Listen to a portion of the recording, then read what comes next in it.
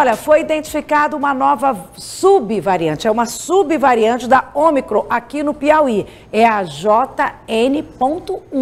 Entre os sintomas desta nova variante estão tosse, fadiga e falta de ar.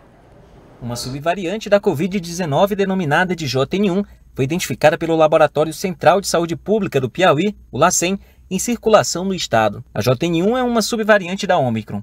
A primeira ocorrência da JN1 no Brasil aconteceu no vizinho estado do Ceará. Além da subvariante Omicron JN1, foi também detectada uma nova recombinante, ainda sem uma designação oficial devido à ausência de registro no banco de dados para devida classificação, e está sendo temporariamente chamada de XDK. Os estudos foram realizados em parceria com o Laboratório de Vírus Respiratórios e Sarampo do Instituto Oswaldo Cruz.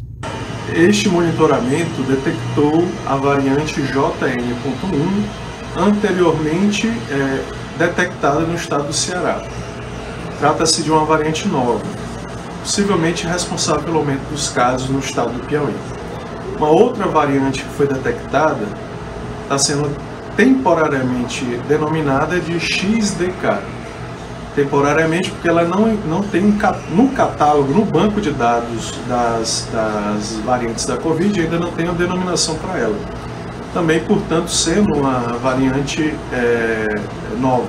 Importante ressaltar que as nossas, é, a nossa análise que resultou na detecção dessas variantes foram em decorrência de sequenciamento genético.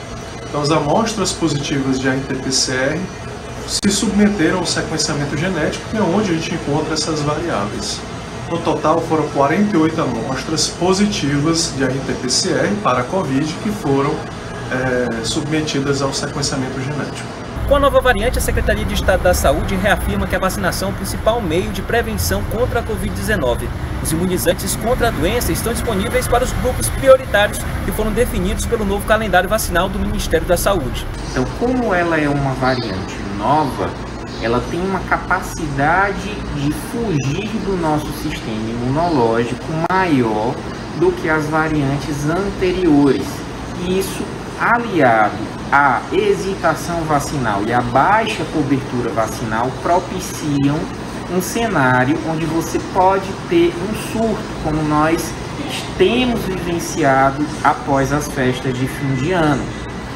Mas o que nós temos visto ao redor do mundo é que não ocorreu uma incidência maior de formas graves.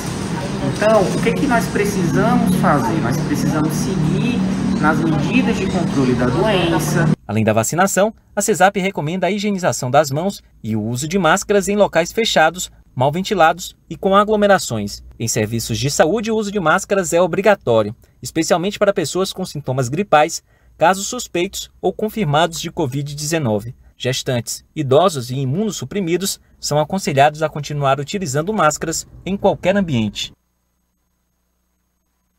Vacina é a melhor forma. Tudo bem, máscara, cuidar de lavar as mãos, o álcool de novo, né? Sempre bom, mas a, a vacina é que garante a sua proteção de verdade.